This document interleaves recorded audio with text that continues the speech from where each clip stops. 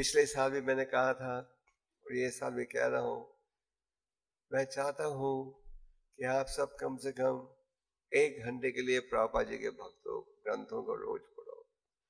इन ग्रंथों में पूरी शक्ति है और इन ग्रंथों में महान आचार्यों की व्याख्या है, प्रभुपा जी की व्याख्या है, भगवान की वाणी है।